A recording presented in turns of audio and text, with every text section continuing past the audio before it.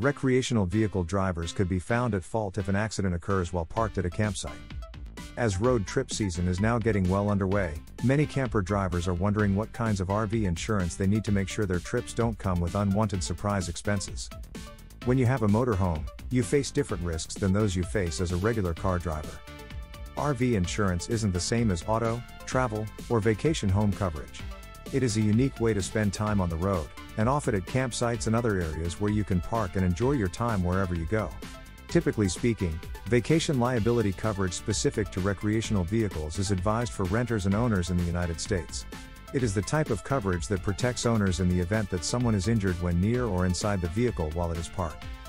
The coverage is important if anyone is ever injured in this way, as it can help to cover the costs of a legal defense against a lawsuit. Moreover, it can also help to cover the costs associated with damages or injuries. If a vehicle owner or renter is found liable for the injuries or damages that have occurred within or nearby the vehicle, the coverage can often help to cover those expenses. Vacation liability RV insurance is meant to provide the owner or renter with some financial protection. While parked at a campsite, things can happen. This can result in property damage or an injured person. Making sure you're covered means that a covered person will be less likely to have to endure financial hardship on top of the stress they are already facing due to the incident itself. As is the case with other forms of liability policy, this type will also help to pay for expenses such as medical bills for the injured person, property damage, or legal fees in the instance of a lawsuit. It's important to purchase RV insurance before heading out onto the road.